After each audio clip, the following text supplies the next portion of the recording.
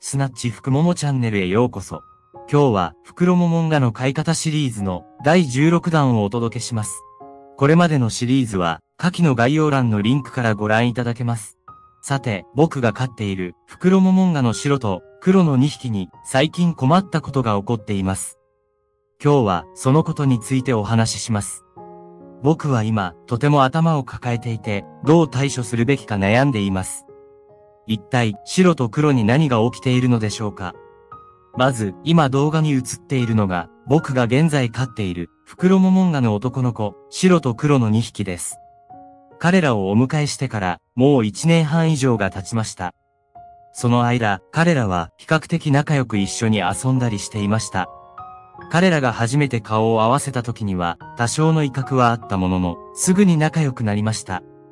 その後、黒が食事をしている時に、たまに白が黒を威嚇攻撃していた時もありましたが、最近までは割と平和だったんです。しかし、最近になって僕の頭を悩ませる出来事が起きました。今までで最大のピンチです。このままだと結構まずいのでどう対応しようか悩みに悩んでいました。これは男の子同士の飼育でよくあることかもしれませんが、白と黒が一緒に安心して暮らせる方法を見つけるまでの僕の対応策についても、今回はシェアしていこうと思います。もし、袋モモンガの男の子同士のお迎えを考えている方や、現在男の子同士を飼育している方に少しでも参考になれば嬉しいです。そもそも僕がどうして男の子1匹の飼育から男の子2匹目を迎える決断に至ったのか。また、白と黒の初顔合わせの時の威嚇の様子や、2匹目のお迎え直後の様子。食事時の威嚇の様子などの詳細は、概要欄の別動画も、ぜひチェックしてみてください。ここでは、今回のテーマの鍵となる、男の子の威嚇がどんな感じなのかを、先に少しだけお見せします。まずは、白と黒の初顔合わせの時の威嚇の様子は、こんな感じでした。黒、優しく、優しくダメよ。思いっきり黒が威嚇していますよね。白と黒は年齢的に5ヶ月の差があるので、当時は体格差もありました。体格の小さかった黒は、白を怖がっている感じが伝わりますか？しかし、白は黒のことを何とか受け入れようとしてくれていました。そのおかげもあって、すぐに白と黒は仲良しになりました。その後も、基本的には一緒に仲良く暮らしていて、楽しそうに遊んでいました。ただ、食事の時だけ、こんな感じで白が黒に威嚇することもありました。まるで、白が俺のご飯だから食べるな、と言っている感じです。この時は、黒が安心してご飯を食べられるよう、僕は黒の周りに手で防波堤を作り、白からの攻撃から黒をよく守っていました。そして、時が経つにつれ、白と黒の体格差もなくなり、食事の時の威嚇もなくなりました。今となっては懐かしいですが、これで一安心していたところ、今回最大のピンチが訪れてしまいました。白と黒が一緒に暮らす中で、最近になって何かが変わったのです。実は最近、朝の健康チェックをしている時に、白の尻尾がボサボサになっていることがありました。毎朝の健康チェックの詳細は、前回の動画をチェックしてみてください。噛まれた後や毛がむしられているわけではなかったので、しばらく様子を見ていました。しかし、何か違和感を感じていたんです。ある日、僕はある出来事に気づきました。蚊帳で白と黒を遊ばせていた時のことです。蚊帳歩の際は、基本的には僕は別の部屋に行って、白と黒を蚊帳の中に最低1時間くらい放置しています。ちょうどその時、黒が白に何度も飛びかかるのを目撃しました。白も黒も怪我はしていなかったので、はじめは兄弟喧嘩の一環かと思っていました。ただ、その飛びかかり方がじゃれ合う感じではなく、本気で獲物に襲いかかるような激しさでした。黒は白を敵対視して獲物のように感じているようでした。これはさすがにやばいなと感じ、急いで僕は仲介しました。そのため、その時のシーンはあまり動画には収められていません。しかし、たまたまそのシーンが一部撮れたので、今から少しだけ流しますね。白、白、白、黒、白、黒、喧嘩しない。白はい、白おいで。おいで。黒おいで。黒おいで。黒おいで。いいよ。黒、おいで。いいよ。黒おいで。これは一部ですが、実際はもっと激しい威嚇の声を上げたり、飛びかかったりしていることもよくありました。少しでも雰囲気をお伝えできればと思います。こんな感じで、黒が白に飛びかかることが、最近何度もありました。明るければ、飛びかかることはないかなと思ったんですが、明るくても飛びかかります。今から明るくした時の映像も流しますね。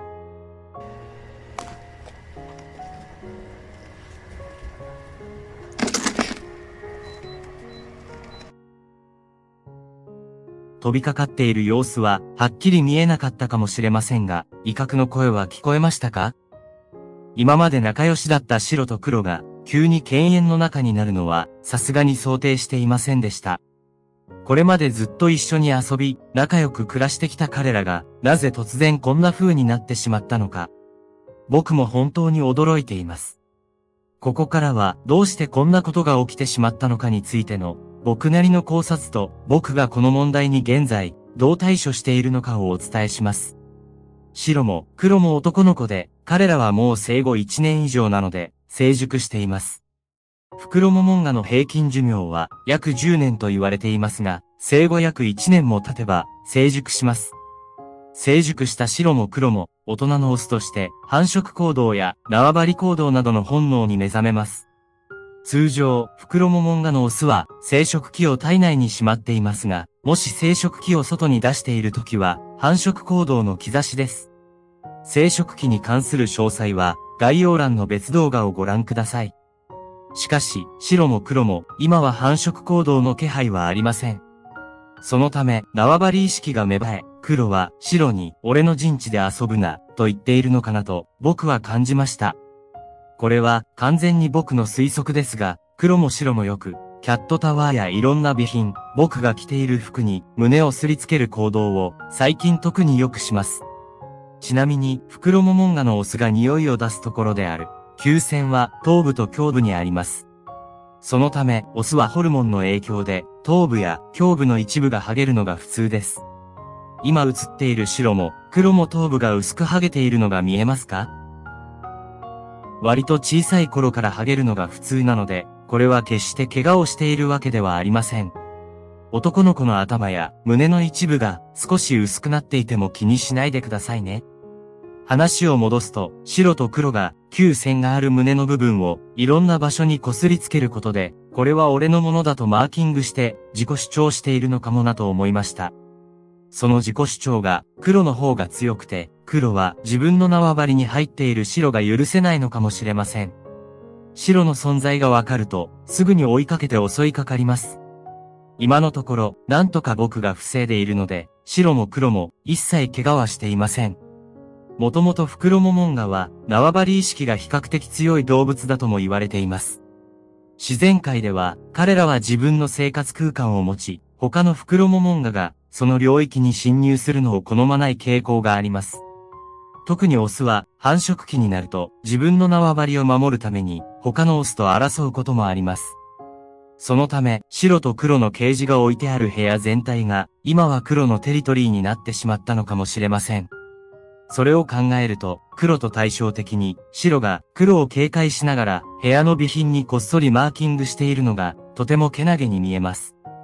このような状況の中で日々の運動不足の解消や特に白のストレスをどう発散させようか悩んでいました。現在、白と黒の日々の火山は中断しています。蚊帳の中だと僕自身が身動きが取りづらく、いざという時に仲介するのが遅れてしまう場合もあるからです。また、白自身も黒に襲われそうになった時に逃げづらいだろうと感じています。もしそのような状況でもどうしても火山をさせたい場合は交代制で行う方法があります。例えば30分白だけを遊ばせた後に入れ替えで30分黒を蚊帳の中で遊ばせるという方法です。今までは白と黒を同時に蚊帳の中に入れても安心だったのですが、今はそれができないので交代制で蚊帳を利用するしかありません。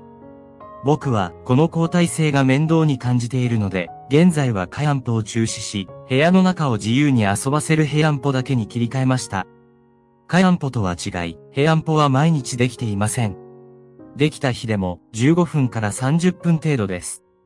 ただ、健康チェックは毎日行っているので、ストレスなどで異変を感じたら、もう少し遊びの頻度を増やすかもしれません。しかし、今のところ、毛並みも綺麗で、特に傷や怪我もないので、現状では、週1回から2回、1回15分から30分のヘアンポに切り替えています。本当は、彼ら専用の部屋を用意して、一日中、そこに放置したいのですが、現状ではそれは難しいので、今はこれでなんとか対応しています。ヘアンポをする際も、白と黒を遊ばせるエリアを話しています。近づけると、必ず黒が白に襲いかかって危ないので、必ず話します。白は滑空をしないので、特定のエリアに放置していれば、そのエリアで駆け回って遊んでいます。基本的に集中して見ていなくても安心です。しかし、黒は好き勝手に飛んだり滑空するので、気をつけていないと、すぐに白に襲いかかります。だから、僕は基本的に、黒が白の方に行けないように、防波堤の役目をしています。黒が飛ぼうとするときに、僕が目の前に立つと、黒は僕に飛びつきます。そしたら、また白から遠ざけたところに黒を離して、黒は黒で遊ばせます。そのようなことをするくらいなら、交代制で蚊帳を利用する方が楽かもしれません。ただ、ヘアンプを通して、僕自身が白と黒と同時に自由に交流できるので、今はその方法で落ち着いています。以前は白が黒に飛びつかれるストレスから尻尾の毛並みが少し乱れていたのだと思います。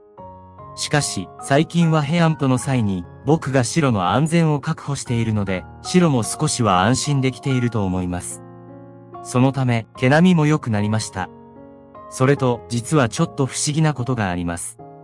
ケージの外では黒の縄張り意識が強いのですが、ケージの中だと白も黒もなんとか仲良くやっています。ケージの中で威嚇したり、激しい闘争になっているのを見たことがありません。いつも白と黒は仲良く一緒にポーチの中で寝ています。もしかしたら白は仕方なく黒が一緒に寝るのを我慢しているのかもしれませんが、健康チェックでは特に異変も見られません。白も黒も食欲は安定しています。ケージの外は逃走エリアだけど、ケージの中は干渉地帯なのかなと個人的に思っています。ケージの外に一歩でも出ると、そこは黒が主張する縄張りエリアになってしまいますが、少なくとも、ケージの中では2匹仲良くやっているみたいで、今は少し安心しています。これからどうなるかはわかりませんが、現状ではこのような感じで対応しています。今後、状況に合わせて飼育環境などをアレンジするかもしれませんが、その時はまた動画でもお伝えしようと思います。今はとりあえず、たまにするヘアンポだけでも気分転換になればいいなと思っています。今回の経験を通じて、僕が考えたことや学んだことなどをシェアすることで、他の袋ももんがの飼い主さんたちの参考になれば嬉しいです。感想や質問などコメント欄に自由に書き込んでくださいね。白と黒の関係が改善するように引き続き努力していきます。今後の進展についてもこのチャンネルで報告していきます。最後までご覧いただき、本当にありがとうございました。来週土曜日の動画もお楽しみに。では、またお会いしましょう。